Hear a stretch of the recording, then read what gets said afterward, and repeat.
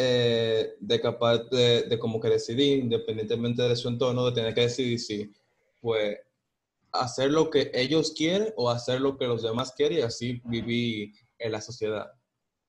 Como eso es, en resumen. Sí, tú dijiste algo muy importante, que era un punto que... ¿Por qué no vieron la película? Porque en realidad la película trata todos estos temas. ¿De qué hablan? Primavera Tardía trata todos estos temas que estamos hablando, la película. Yo no sé por qué no, qué cosa. Sí, yo creo que sí, porque ellos, si tú te fijas, el señor... ¿Sí la viste, firmo? Sí, yo la vi. Ajá. Eh, el señor, cuando el padre de Norico, él tenía diferentes tipos de pensamiento cuando tenía un traje o cuando tenía el traje tradicional el hombre que tenía un traje tenía como un pensamiento moderno, eh, mientras él tenía un pensamiento clásico, entonces se preocupa por eso, como qué tal, qué tiene de bueno o de malo estos tipos de, de pensamiento. Eso en la película es muy notable. Es lo mismo que dice Reinaldo, es, eh, ¿qué quiere ser Norico? ¿No digo quiere ser feliz como ella es? ¿O quiere ser feliz como quieren los demás? Y ese es el tema de la película. Ah. Y ah, tú la viste también. Es el tema. Y lo que trata de una forma tan hermosa, este hombre tradicional, un, profesor que es muy buen padre, pero le está poniendo esa carga a la hija, que la hija no quiere. Entonces, la película nos deja a nosotros pensando, ¿quién tiene razón? Yo no sé. Eh, yo tengo una pregunta ahí. O sea, al final ella no logra ni lo que quiere, ni lo que necesita, entonces... Claro, una película moderna. Esa es la diferencia. Por eso la película parece clásica y vamos Ernesto a lo de la luz. Pero es moderna porque al final ella, ella se queda en su laberinto. Sí, o sea, a mí me gustó, pero yo pensaba... ¿Que tuviera conclusión? No, no sé. O sea, como hay, como hay una trilogía. Ah, ¿tú crees que es la primera? Sí. A ver qué pasa más adelante. Vamos a ver, yo no sé, en verdad. Vamos a ver qué pasa más adelante, porque yo no las he visto las otras. Sí. Ah, pero tengo muchas ganas de verla ahora. Es, es curioso. A mí me gusta muchísimo. Primavera tardía, el, el verano temprano, y la historia de Tokio. Como... Además, ¿qué, película más hermosa, qué fotografía. Sí, me gusta muchísimo. Me gustó la temática. ¿Cuál fue la tercera que te, que te dijo, profe? Una historia de Tokio, Tokio Monogatari. Mm. Es muy famosa esa. O sea, al final el papá yo lo percibí como que él se sentía como triste, no sé. El final, la boda, que se supone que es lo más feliz, que no ha dicho a la tía, el mejor momento. Y esto que yo estaba tan feliz que no podía ni comer. Ajá. No hay felicidad en esa boda. No, y a ella no la vuelven a presentar después de la boda. No. Mi padre se sintió mal porque le tuvo que mentir a la hija. Sí. es tremenda película. Una, una relación de tanta confianza que se da entre ellas. Una película, yo comienzo a verla y digo, por esta película, ¿qué es lo que tiene de moderna? Y comienzo a ver la película y digo, pues es una película clásica, mira que aquí está Tabuda. Y entonces luego la película se pone y saca la modernidad. Pero yo quiero que sigamos el tema y ahora agregarle otro punto, que es muy bueno que Rinaldo lo trajo a colación, después, ahora mismo Ernesto, que dice, ¿para qué público ustedes quieren hacer cine? Rinaldo nos, nos recuerda, es que yo debí haber explicado que me refiero a personas que son medianamente educadas. Creo que fue medianamente educada el, el adverbio que tú usaste, Rinaldo. Entonces, ¿cuál, quieren, ¿cuál es su público? ¿Qué público ustedes quieren tener? ¿Un público medianamente educado, un público educado, un público muy educado, un público común? Y eso es bueno que, se lo, que nos, lo preguntemos. Yo tengo mi, mi, propia experiencia, ya tengo unos cuantos años en el medio, porque nadie me conoce, no soy famoso, pero es, curioso, es diferente. Cuando tú trabajas para un público medianamente educado, como la película Miriam Miente, no sé si la han visto, o Carpinteros, cuando tú tratas a un público solamente educado, que es como una película normal, una comedia, o una película de Marvel, que para un público, para, para todo público, literalmente, eso para todo el mundo. Eh, no es igual, no se trabaja igual. Pero vamos a escuchar, Ernesto levanta la mano, ¿quién más? Ah, firmo. Y Mauricio, eh, que le ha gustado el eh, tema. Lo que preguntar era que cuando estás hablando de, de la diferencia como entre el cine clásico y moderno, que, o sea, la película al principio parecía clásica, eh, entonces la diferencia vendría siendo que en el moderno fue que no pudo como completar su objetivo eh, el personaje. Sí, el, el cine moderno tiene una tradición. Que yo le mandé un texto, un párrafo de un texto que luego se lo voy a enviar más adelante, de Lauro Zavala, un, un crítico teórico, escritor, muy, muy buen escritor, con bestseller mexicano, que me parece que en Latinoamérica es el tipo que está más avanzado en los estudios cinematográficos. Me parece a mí, quizá haya otro en Argentina, Denis Asmenovich, va ahí con él, pero me parece que es Lauro que está más avanzado. Y él, no sé si leyeron el párrafo, léalo ahora, aprovechen, está en el chat. Habla- el, el cine moderno, esa es la conclusión que él da, termina siendo un cine que siempre es diferente a sí mismo. Por eso dice, eso fue en el 2005 que él escribió esto. Hay una, cuando uno ve más, el cine moderno tiene una tradición, una sola tradición. Hay una sola cosa que pasa en prácticamente el 99.99% de la película moderna. Yo no he visto ninguna película moderna que esto no pase. Por eso digo, es posible que haya una, pero yo no la he visto. El personaje fracasa. El protagonista. Hay dos tipos de fracasos. Da un fracaso como esta, que es un fracaso leve, es como un no sabemos qué va a pasar. El padre le ha dicho, no te preocupes, que al principio es muy triste, pero después se arregla. El matrimonio. No sabemos si se arregla. Y hoy, mirando hacia atrás, la película tiene ya 70 años, podemos decir que mucho más de la mitad del matrimonio no se arregla. Entonces, quizá ese matrimonio no se arregló. Entonces, un final así, el final queda abierto no se concluye, pero el personaje nunca logra su objetivo. Esa es la tradición moderna, eso es general. El cine moderno, la novela moderna, la pintura moderna es el relato de un fracaso. No, el personaje no logra su objetivo, el personaje fracasa. su objetivo. A a eso responde tu pregunta, Ernesto. Sí, Entonces firma levanta la mano y ahora Nicole. ¿Qué hacemos, firmo? ¿Somos caballerosos y dejamos la dama la, primero? de la Nicole sí ya... O sea, yo quiero decir algo por- de la película, Ah, pero si vamos a hablar de eso ahorita, ya vamos de ahorita. ujú. Yo Nicole. iba a decir algo de la película también. Era que, eh, que inclusive dentro de la misma película, en el caso de que tú no resuelvas con ese matrimonio, o sea, que no vaya todo bien, igual tú te divorcias y tú lo vuelves a intentar. Eso, eso, la película plantea eso. Entonces, fíjense qué ruptura con la tradición es el divorcio. Para nosotros no, porque ya nosotros vivimos después de la modernidad. Somos postmodernos. Pero el matrimonio, no sé si recuerdan, es una institución divina, cuya ruptura implicaba no solamente a la pareja, sino también a la iglesia. Entonces, el divorcio es una, una concepción moderna que no está no está en ninguna constitución anterior a la Segunda Guerra Mundial. O sea, es, no, existe el, no existía el divorcio civil hasta la Segunda Guerra Mundial.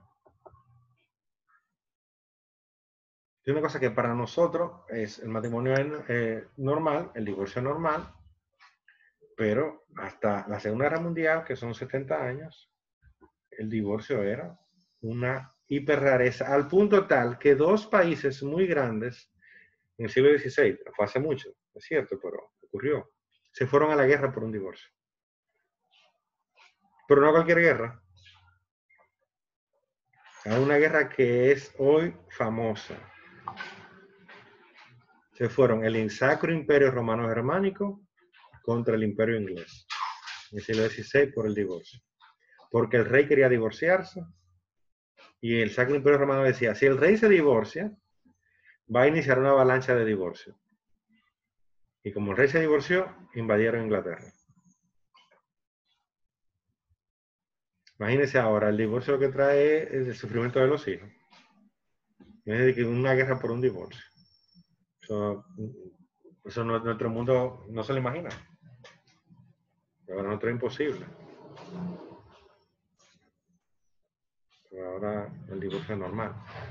Después la modernidad. O sea, otro principio de la modernidad que es que tenemos que revisarlo en la historia nada más para no entenderlo, es el de la pena capital. La pena de muerte es un concepto clásico. Dice, hay pecados, o sea, crímenes, que cuando la persona lo comete, merece morir. Esa es la Inquisición, esa es la casa de brujas, esa es, etc.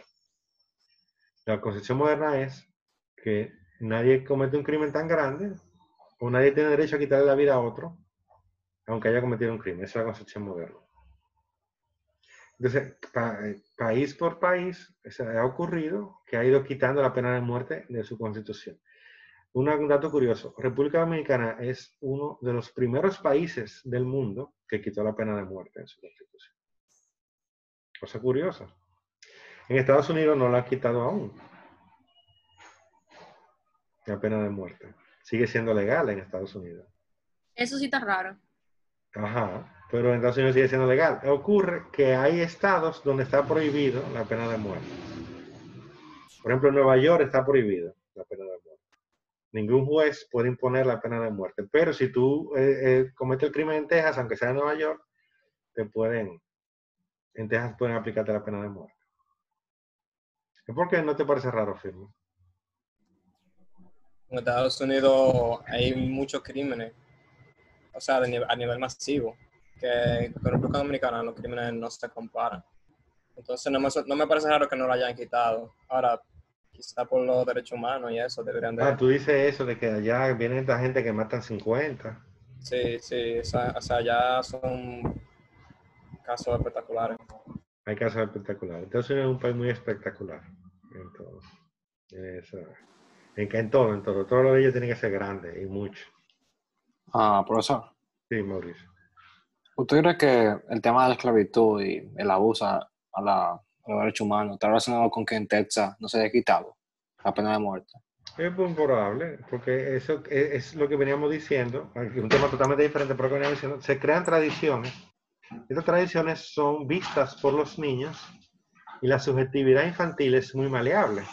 Entonces, si tú creciste en Texas viendo que el Ku Klux Klan quemaba gente, tú dirás, ¿qué tiene de raro que el Estado la mate también? Porque si aquí la mataban, si cuando yo era chiquito la mataban en el patio, se juntaba un grupo de blancos y quemaban un negro, ¿por qué el Estado no puede hacer lo mismo? Entonces, eso le pasa a mucha gente, como le dice Camila, Camila Rodríguez, y dice Nicole, que para su padre no hay no, no es concebible. Mira, lo que dice Nicole es muy representativo. Peínate, le grita una mujer que no, que no conoce. ¿Qué dice Nicole? A mí que me va a hacer, a mí me va a dar una pela si no me peino. Entonces se forma esa subjetividad que con lo que Camila nos contaba, yo crecí, crecí deseando alisarme el pelo porque me convencieron de que, era, de que era bello y que lo bello es bueno. Entonces lo que no es bello es malo. Entonces dice Reinaldo, pues cuando las personas son muy educadas o medianamente educadas, ese problema no existe, es cierto. Hay que educar más a la gente. La, gente educada no lo a decir al diablo al otro. la, manda a matar, sí, pero no echa a decir al diablo porque eso es como muy, muy, muy salvaje. Y empezó a llover y se fue la luz. Entonces, gente educada, tenemos el caso de los nazis, por eso el caso de aparte, pero yo considero que la educación le hace bien a la humanidad.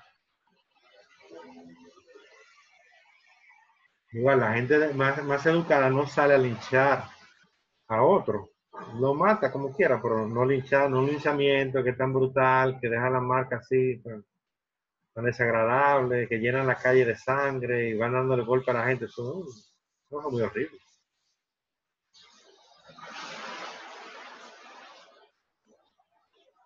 De esa pregunta no me han respondido. Antes de que sigamos hablando de la película y del cine moderno, que tiene sus características, que... Bueno, no sé. La del cine clásico me la presentaron y, quizá la vieron. El cine clásico, eso más fácil de notar, también se reproducen en todas.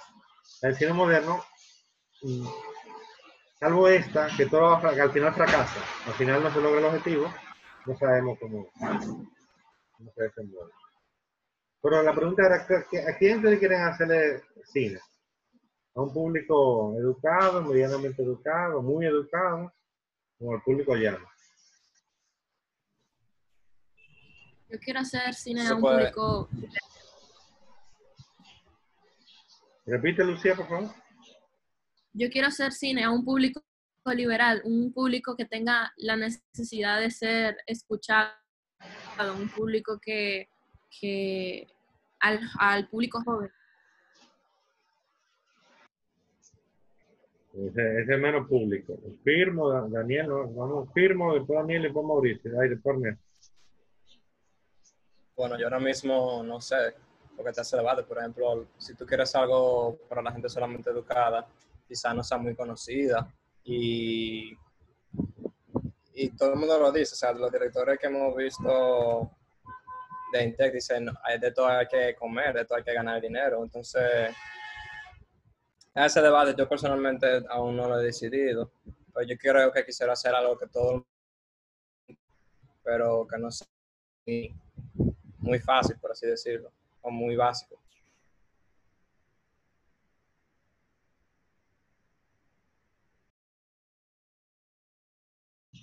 Daniel, Yo personalmente pienso tratar todas como por etapas, así. O sea, de, como, como una jerarquía así. Probarla toda, todo eso.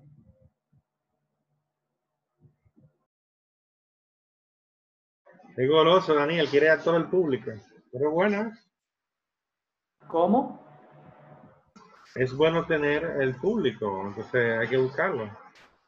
Exacto, sí. Entonces, a veces, eh, bueno, yo entiendo lo que dice Lucía y firmo. Quizás tú personalmente no te interese trabajar con un público que no te vaya a entender. Tú preferirás un público, pero entonces ese público es más grande. Si quizás tú quieres ganar un buen dinero para poder pagar tu nivel de vida, tus gastos, para darte a conocer.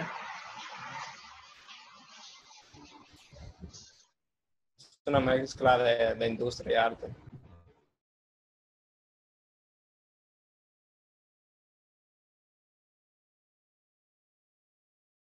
Mauricio. También es que yo considero que Daniel tiene una visión muy grande.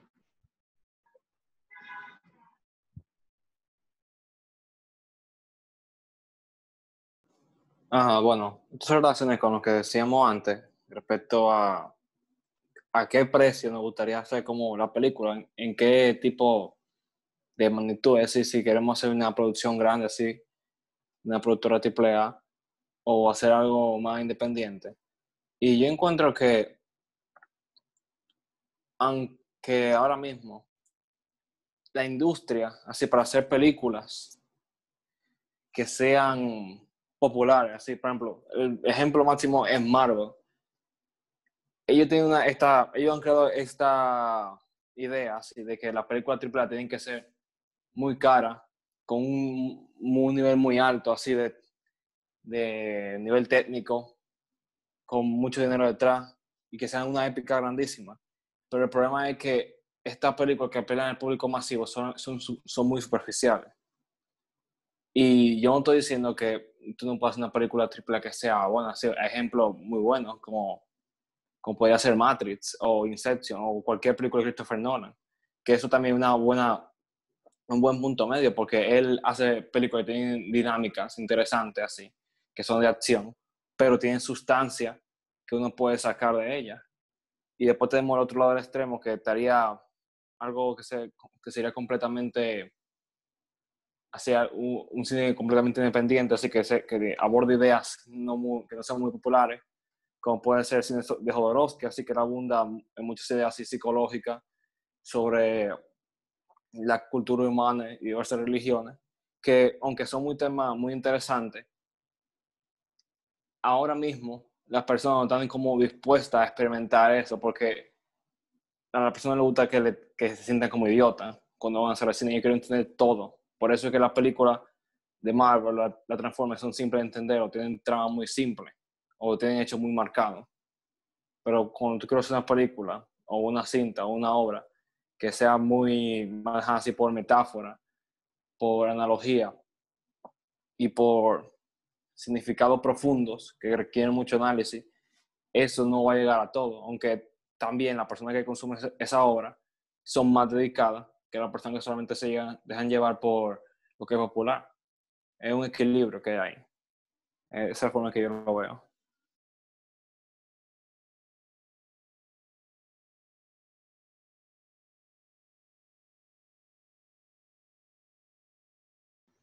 Entonces, de Mauricio, Eric Ernesto, ¿verdad? Sí, eh, yo realmente sí creo que al principio comenzaría a ser cine como más comercial para todo público, eh, pero sí me gustaría eh, no abarcar todo específicamente porque eh, a mí me gusta más la parte de guion y no, cre no me veo escribiendo como cine como para una, o sea, como gente muy estudiada, eh, pero sí me veo escribiendo para todo público y para eh, tal vez cosas personales que, o sea, co- como llegar a, público específico, pero no, no en el sentido de intelecto, sino como eh, por cosas que pasen, o sea, por situaciones, no, o sea, más por sentimiento que por intelecto.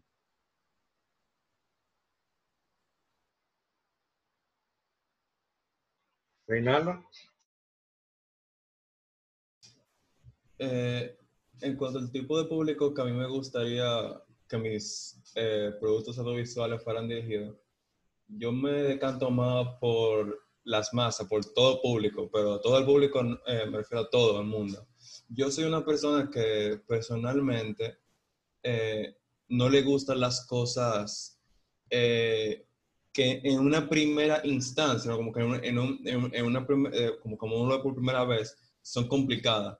Yo valoro mucho eh, obras que son simples, que tú las lees, o la, que principalmente eso pasa en libro más que en película. Que Como tú las lees, por ejemplo, en un libro, tú puedes eh, entenderlo y disfrutarlo.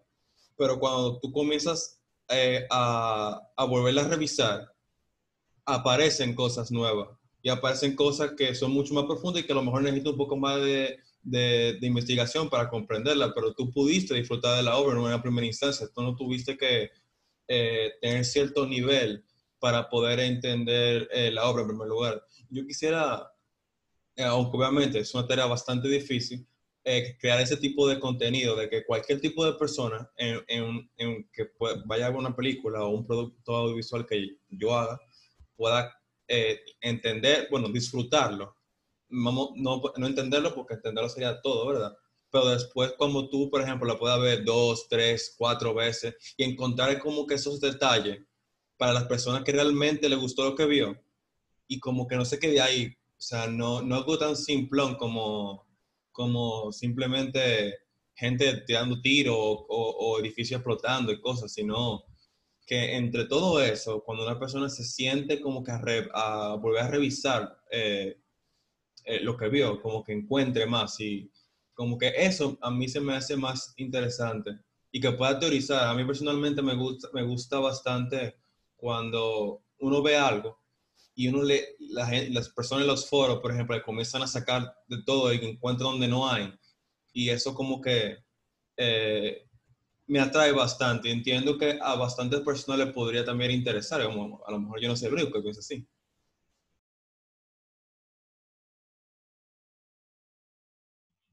Nicole.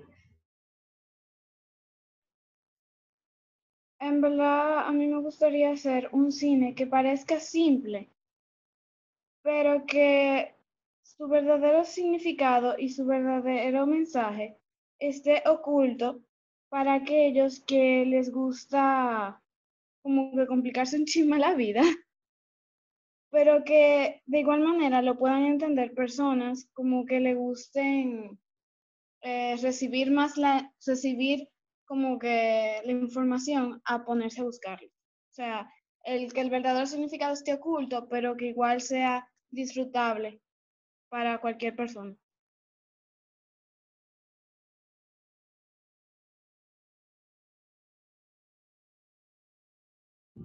Mauricio.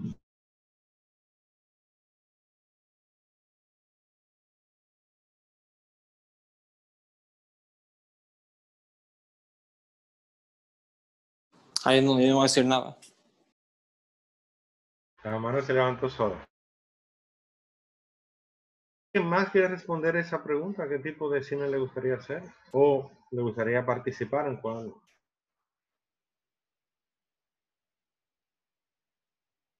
Bueno, Nicole, tiene quien te acompañe en tus opiniones. Y usted, profe. Daniel, Bueno, eh, yo personalmente quiero hacer eh, un cine satírico. O sea que yo quiero ser, mi visión para el futuro es ser un autor reconocido por, por un estilo, por un estilo, por un estilo, por ejemplo, a eso se le llaman actor, algo así, director au- autorista, algo así que, que, por ejemplo, uno ve una de sus películas y uno sabe de que, ah, ese de, ese de ese pana. Pero, o sea, mi, mi, el, que, el estilo que yo estoy buscando es, es un estilo satírico, o sea, que sea diferente a la satírica que vemos hoy, pero que sigue siendo una sátira.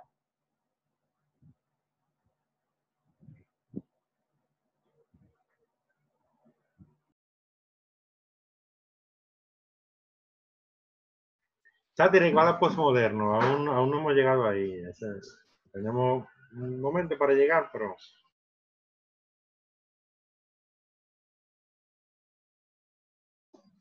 O sea, ¿qué tiene que ver eh, esto de Lucía?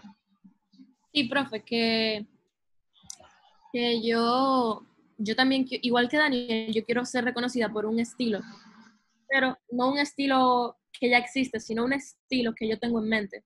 O sea, es algo nuevo, es algo totalmente nuevo que yo tengo en mente y no lo voy a decir porque no quiero que me lo roben.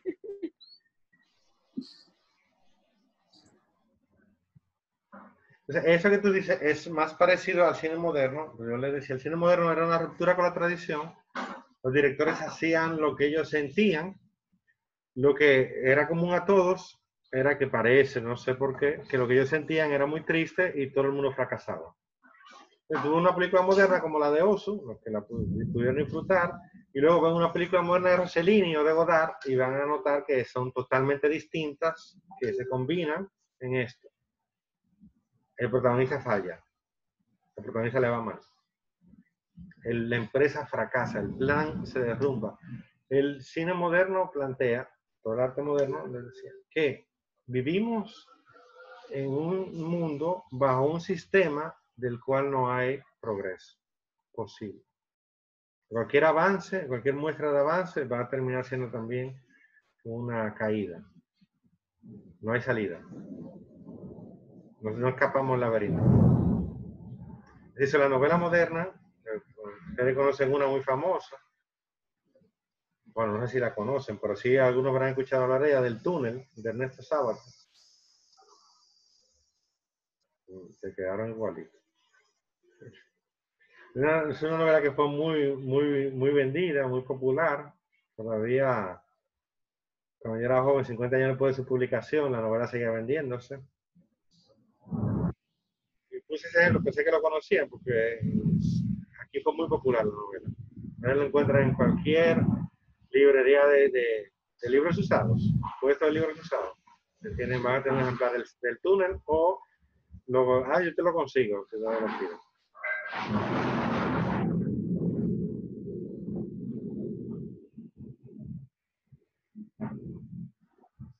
Una buena tormenta. Entonces, los cineastas modernos, cuando se plantearon esa pregunta, ¿qué cine, ¿a quién tú le quieres hacer película? ¿Al público? ¿A quién tú quieras? Algunos incluso llegaron a responder, yo quiero hacerme la película para mí, a mí no me importa que nadie la vea. Yo la quiero que me guste a mí y ya. Eso no tiene sentido. porque ¿Por qué, ver. Es que, profe, porque es que si, si, por ejemplo, no la hace, que no le tiene que gustar a uno, obviamente, porque uno hace eso porque le- lo ama, pero si uno hace una película para lanzarla, qué sé yo, una sala de cine, una, una página web, lo que sea, es para que sea de agrado del público, no solamente para, para uno, digo yo. O sea, Por yo- eso. Sí. Sí, o sea, sí. yo digo que no necesariamente tiene que gustarlo, o sea, ¿por qué? O sea, ¿por qué él tiene que gustar al público? Sino, yo digo como que el, el artista debería de tener la libertad que quiera. Claro, porque como decíamos al principio, el paradigma de la modernidad es el de la libertad. Es decir, yo hago lo que yo quiera, no tiene que gustarle a nadie, porque era lo que yo quería. Al contrario, el cine clásico, por con su concepción, trata de ser masivo o mayorita- mayoritario. Era, o masivo o mayoritario. No tenía que ser para todo el mundo, pero sí tenía que ser para un gran grupo. Porque el objetivo clásico, o su pecado original, es el interés. Pues, si no, tú no tienes un gran público, no hay beneficios. Es como dice Ricker, y esta película, ¿quién la veía? Y no tiene sentido. ¿Qué la hacen si nadie la va a ver? Efectivamente, estas películas nadie las veía. Algunas sí, eh, por un momento fueron muy populares, era la época de la modernidad, y entonces Osu va a tener películas, la más taquillera de su año en Japón. Rossellini fue popular en el mundo entero, sus películas la daban en todo el mundo. Godard sigue siendo popular en Francia, sus películas siguen vendiendo. Pero eran todas las películas que eran así, modernas. Entonces tú tenías un director que le funcionaba como, como Antonioni, que también fue muy popular. Ustedes no saben quiénes son, por eso. Porque las películas que ellos hacían no eran para el público.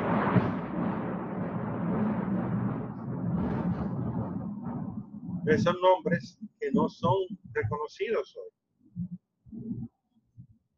No hay mucha gente que hable de ellos.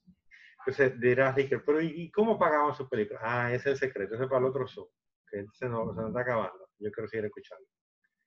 ¿De dónde los directores modernos sacaban financiamiento para hacer sus películas? Porque no era que eran películas de que baratas. Dirán, no, profe, esta película de ayer es barata. Esta película era en una casa, un grupo de gente hablando. Ayer, no sé si la vieron ayer, yo por- porque la vi ayer. Hotel Oca- Una película carísima. Entonces, ¿de dónde sacaban el dinero si la gente no la veía?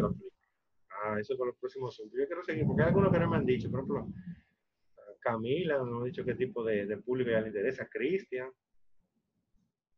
Mira, Lucía ya encontró el impostor.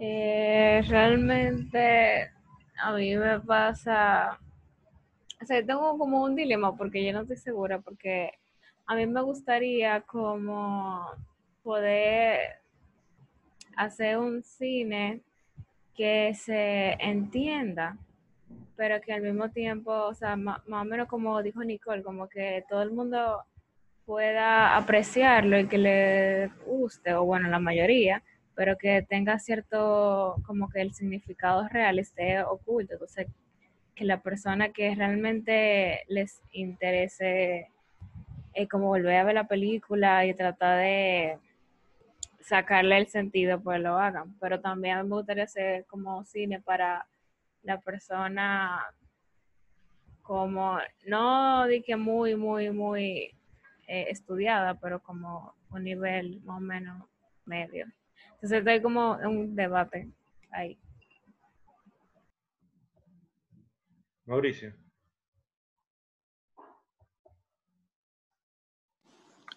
Ah, profesor, una pregunta. ¿Tú estás de acuerdo con la frase de el medio es el mensaje?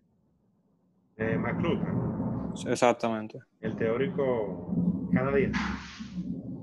Ajá. ¿Estás de acuerdo con esa afirmación? Ahora, Operativamente, en la- lo que es la parte operativa del arte es cierto.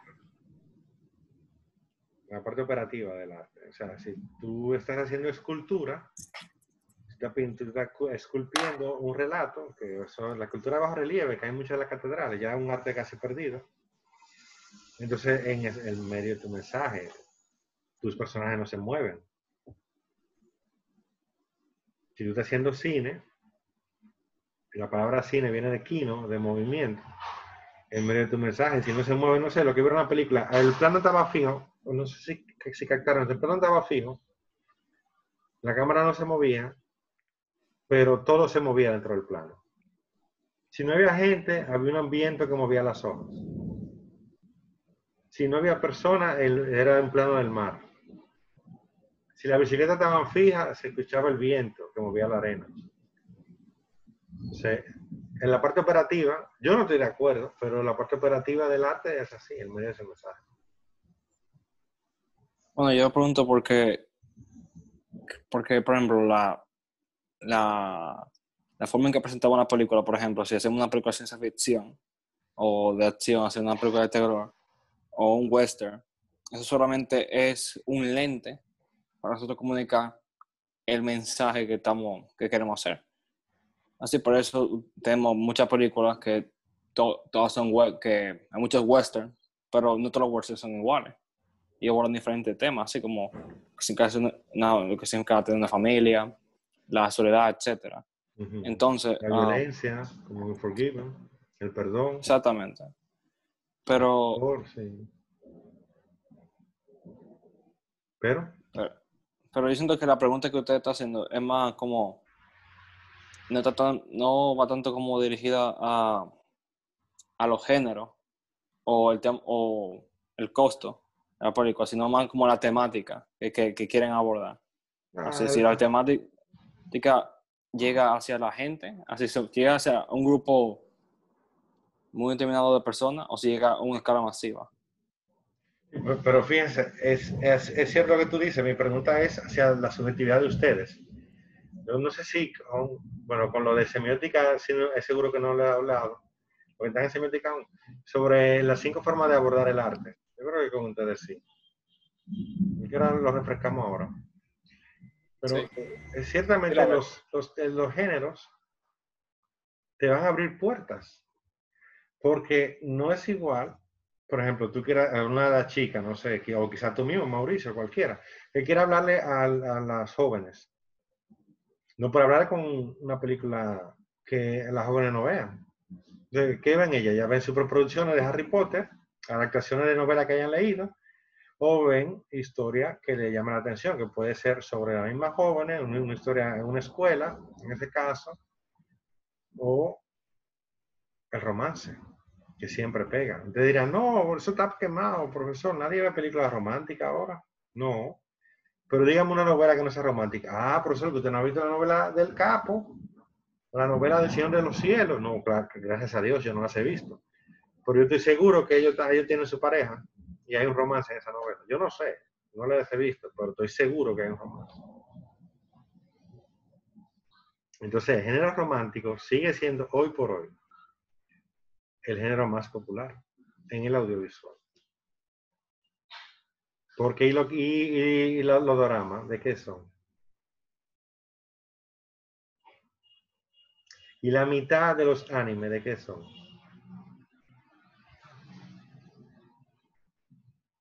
Hablamos en que sigue, que ya le queda poco.